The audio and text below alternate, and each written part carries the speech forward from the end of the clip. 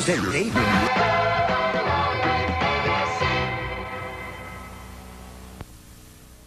They look like us. They talk like us. They walk among us. Yet they are not us. Ever since the dawn of civilization, secret societies have existed. What do they know that we don't? And why do they exist? Some exist as a benign social group in a small town, but others span the breadth of the entire planet, infiltrating every corner of our society. An assembly that spreads in our ignorance, working silently to accomplish its unwritten mission. The scope of their power is unbeknownst to even the most intelligent minds of our time.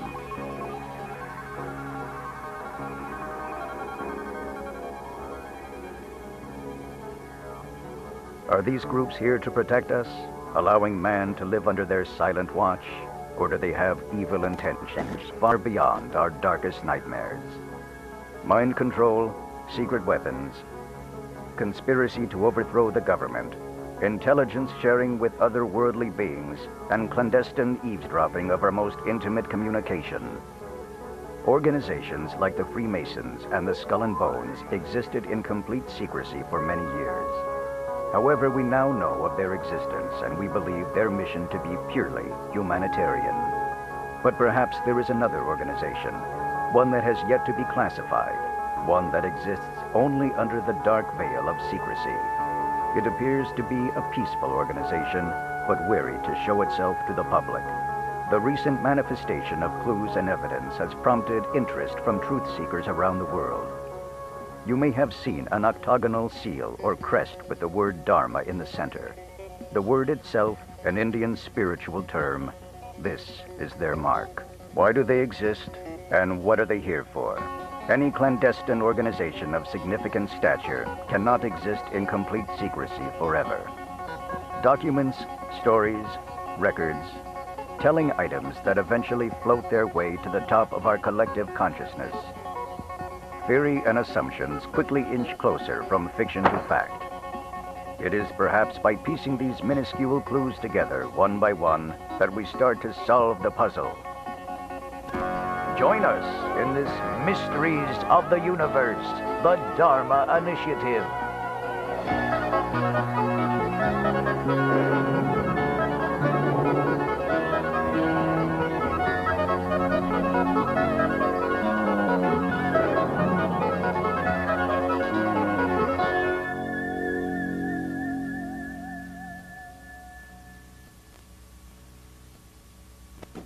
We now return to Mysteries of the Universe, the Dharma Initiative.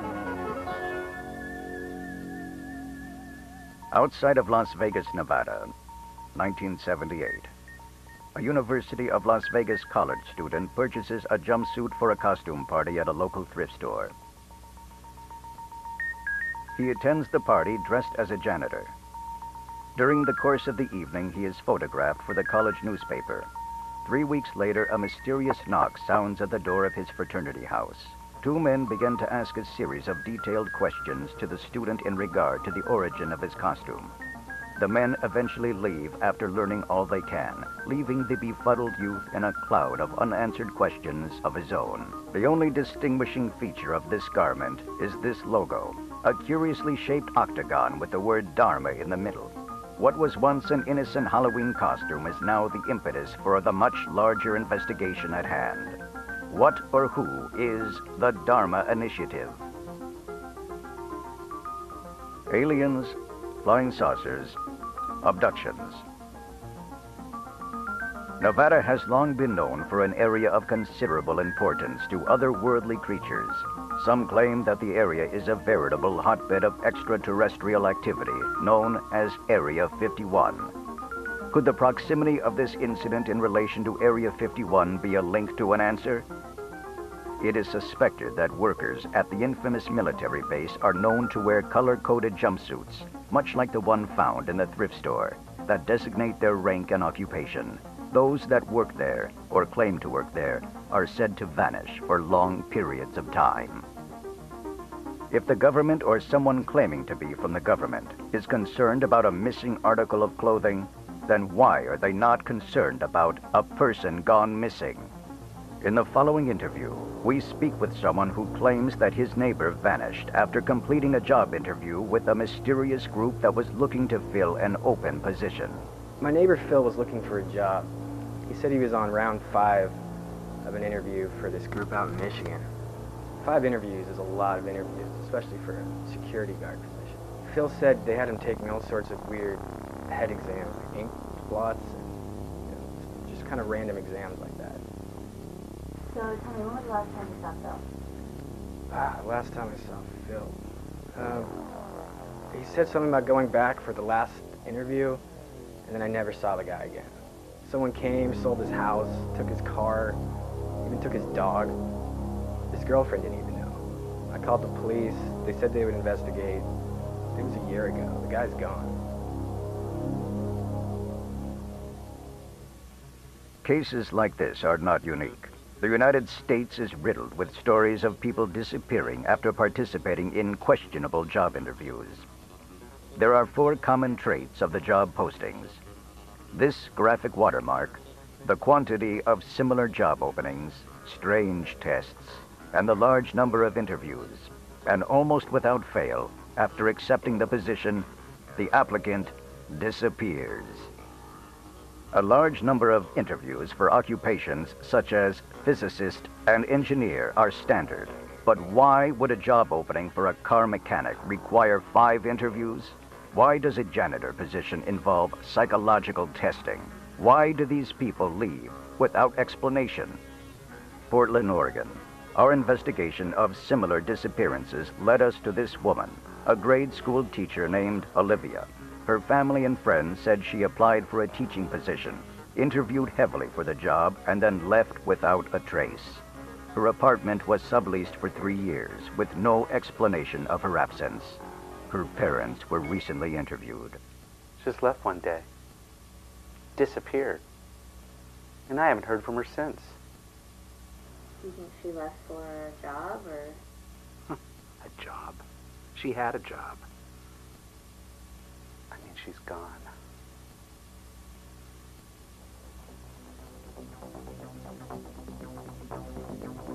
Note the graphic seal in the upper right corner of this preliminary job application. Supplied to us by Olivia's parents. It matches the one on the jumpsuit and job posting. Secret societies are known to use special identifying symbols to assist members in identification of official documents and property. Often used in these interviews is the Rorschach test. This test is used with the psychiatric community to assist in determining a person's mental state. It is also often used on the criminally insane. Here is a list of questions we found for an interview. Why should a veterinarian be profiled in the same manner as a psychotic killer? Intense interviews, psychological tests, disappearances, secrecy. If someone or some group is putting this much effort into interviews, then exactly what type of organization is this? All the puzzle pieces are there, but the more we try to put them together, more pieces are added to the table. An ever-expanding table, and the place setting is serving up mystery. We now return to Mysteries of the Universe, the Dharma Initiative. A church, normally a place for worship, not a place of scandal. This church in Los Angeles has always been regarded as a sanctuary for the mind and spirit. Perhaps there is a secondary element to this church that our researchers pray to uncover. Mysteries of the Universe has discovered that this church has quite a large collection basket. Records state that this church has received funds upward of $1.5 million from a private organization. Observe the octagonal logo in the upper right corner. This is the same image found on the job posting. We have found hundreds of invoices for enough supplies to sustain a colony for quite some time. But not all items purchased make sense. strange requests and purchase orders that cover the most unusual spectrum of mystery. 1.4 tons of seeds, ammunition for M1 carbines, pneumatic tubing, animal care supplies, zookeeper supplies, electronics, televisions, speakers, wires, but enough to service a town. Electromagnetic coils and Tesla coils, psychotropic drugs, other pharmacological supplies, and soft restraints. Ostensibly, the church is responsible for the procurement of these strange wares. However, our reporters' investigation into the church's financial records have proven there is nothing unusual. Furthermore, a stunning discovery is that the church does not own the very land it sits on. Research into the landowner's name has led our intrepid team to discover a dizzying array of shell companies that have ordered all the unusual supplies. Our investigation brought us to this man, a behavioral psychologist who works at a Los Angeles clinic. He too claims he was interrogated by the Dharma Initiative. He did not wish to be identified. My name is. I am a behavioral psychologist with a strong background in pharmacology. The interviews were intense. They also interviewed my colleague. He was a chemist. His name was Oldham or something or other. They asked me questions about every facet of my job, everything I've ever learned, or drug reactions, side effects, even things we were still researching, classified research, Ludovico, etc. The Ludovico technique. It's where a subject is repeatedly told a series of phrases or images, and upon repetition, the subject may eventually believe they are true. Some believe this may be called brainwashing.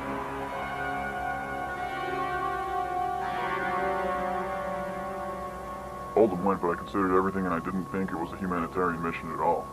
When it came to my ethics and values, it, it crossed the line. I thought it was a cult. Not religious, but certainly had the same feel and, and, and actions of a cult. Ammunition, drugs, tranquilizers, but perhaps the strangest of all, submarine fuel. What type of organization would maintain and operate a submarine fleet? Why would they need one? The only time a submarine is used for clandestine purposes and operations is to sneak in and out of contested waters under the cover of liquid night. During World War II, submarines were regularly used for transport to areas in the non-industrial locations in the South Pacific not suitable for large ships. Many of these vessels were lost at sea.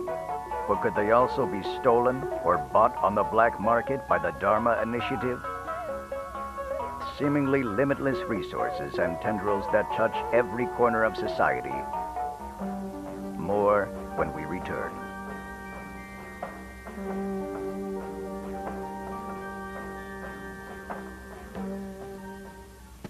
Monday here on ABC. We now return to Mysteries of the Universe, the Dharma Initiative.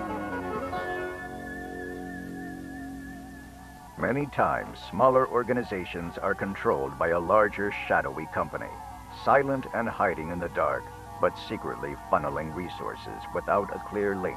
Much of what we have uncovered is layered in anecdotal evidence and legend. However, there are hard documented facts and several flesh and blood people that are pulling the strings. Our mysteries researchers have found a strong link between the Dharma Initiative and what could be a larger, more powerful force working behind the scenes, spearheaded by a man named Alvar Hanso. Who is this man?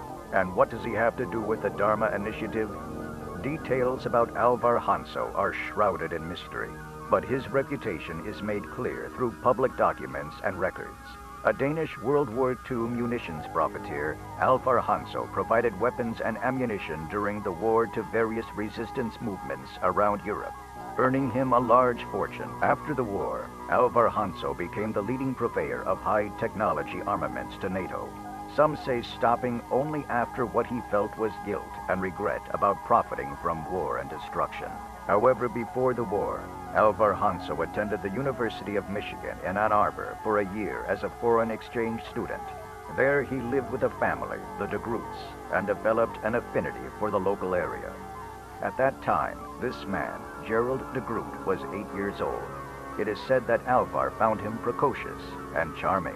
Curiously, when our research team tried to uncover de Groot's college records, they found them to be expunged, erased from existence. Piecing together from second-hand resources, we deduced that Alvar's undergraduate degree was in chemistry from a university in Billund, Denmark. And he returned to a university in Michigan for a master's in engineering, quite possibly spending more time with the de Groots and bonding with Gerald. We suspect the families stayed in touch over the years. Then, when Gerald was a graduate student in his search of financial backing for his project, the Dharma Initiative, he contacted his family friend Alvar Hanso for funding. Who exactly is Gerald de Groot? We tried to investigate further into the de Groot-Hanso connection, but were stymied at every turn. Our team went to Ann Arbor, Michigan to this location of de Groot's laboratory, but were barred from entry. Barred from the truth.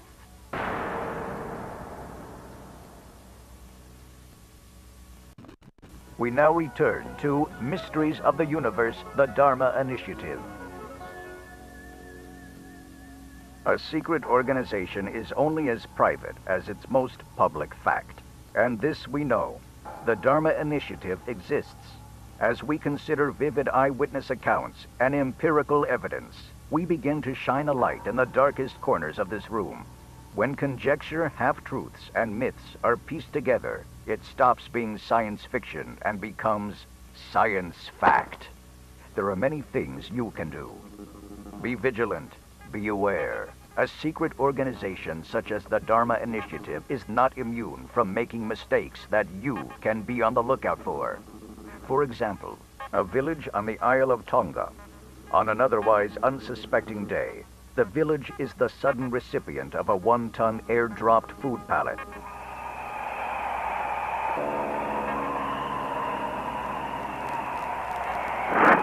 The smoking gun, again, the octagonal logo on a field of white. Every single foodstuff is labeled in this way. Soup, chili, salad dressing, peanut butter, oatmeal, desserts, even beer and rum. Hardly the stuff of humanitarian aid. Manufacture? Unknown. Point of origin? Unknown. We think it was a mistaken resupply attempt for an outpost in the South Pacific. Is the Dharma Initiative located on one of the 169 islands of Tonga? Could it be that it was originally meant for the real location of the Dharma Initiative? And what happened to the plane? There are many stories of missing planes that have vanished while en route to islands like Tonga, the Bermuda Triangle, a mysterious section of ocean in the Atlantic. Perhaps the Dharma Initiative is linked to this paranormal activity. And who would have the means to airdrop pallets of food or weapons? Alvar Hanso made his fortune supplying the resistance during World War II and did so by any means necessary. By land, by air, or by sea. He would have the knowledge and armada to create a supply line to an outlying post of secrecy. Ann Arbor, Michigan. A newspaper prints an article stating volunteers and test subjects are needed for an anthropology experiment that would require entire semesters abroad in a tropical locale. Sequestered from friends and family is a mandatory condition of participation, as is a rigorous aptitude test and a physical stress test. The person in charge? Gerald de Groot, the graduate student who seems to have unlimited funding for his project.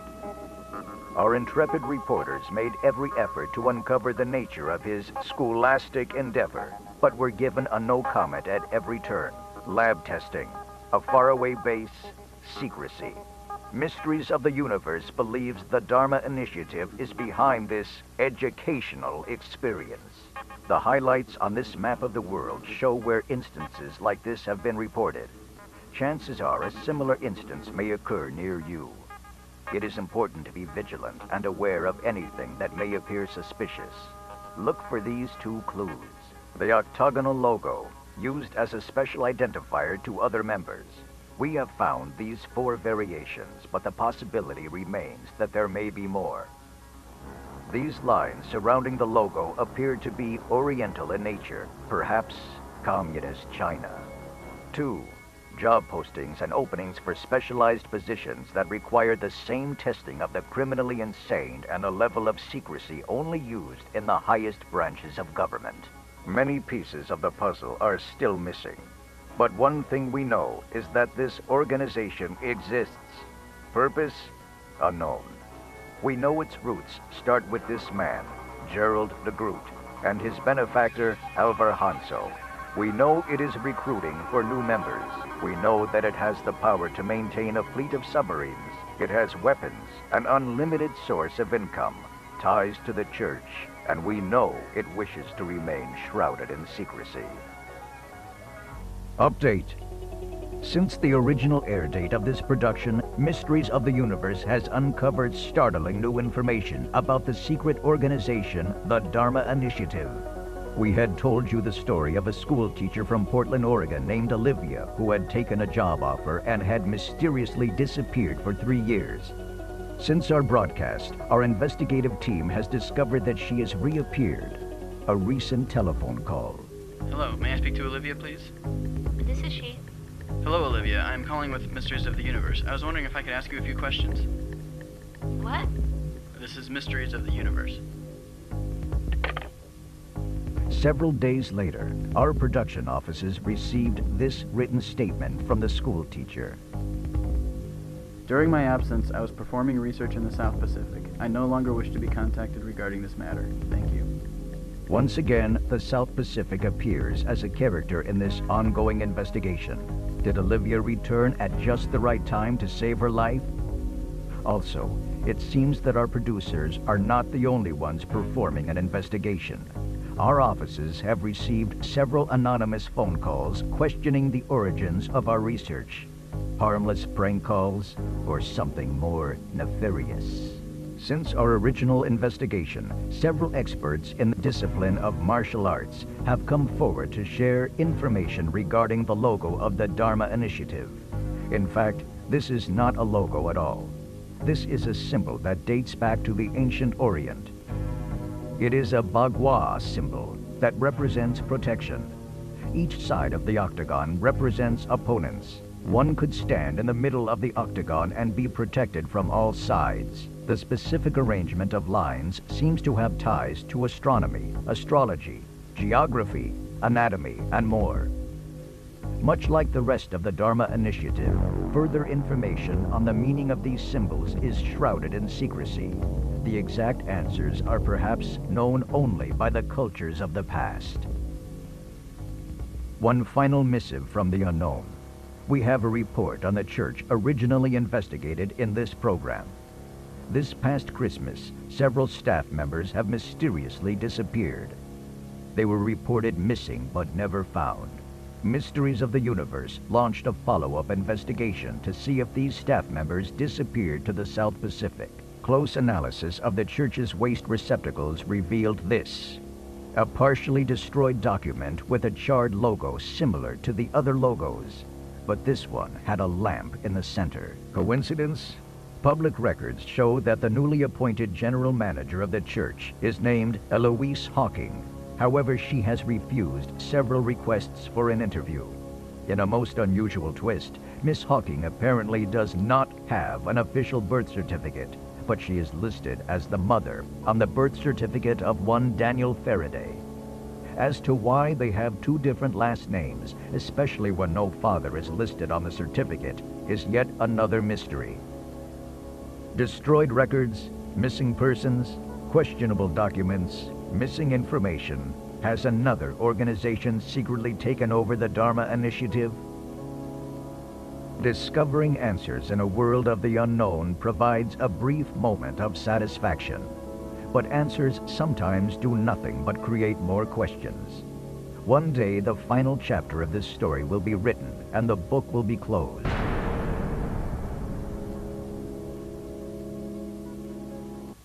Will the stream of unanswered questions continue? Or will this enigma eventually be pushed or forced into the light of truth? Only time will tell the ultimate fate of this Mysteries of the Universe.